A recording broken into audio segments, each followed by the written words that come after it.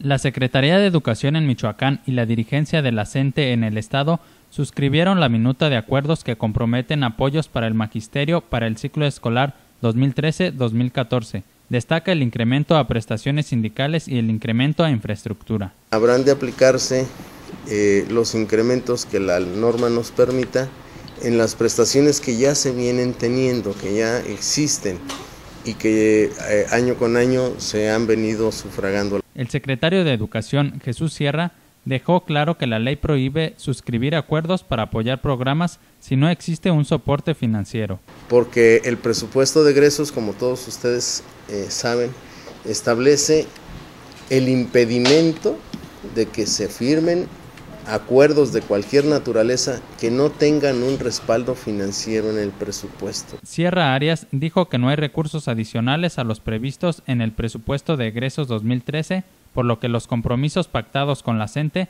se llevarán a cabo durante el siguiente ciclo escolar. Con información de Miguel Ángel Sánchez Informa, Cuasar TV.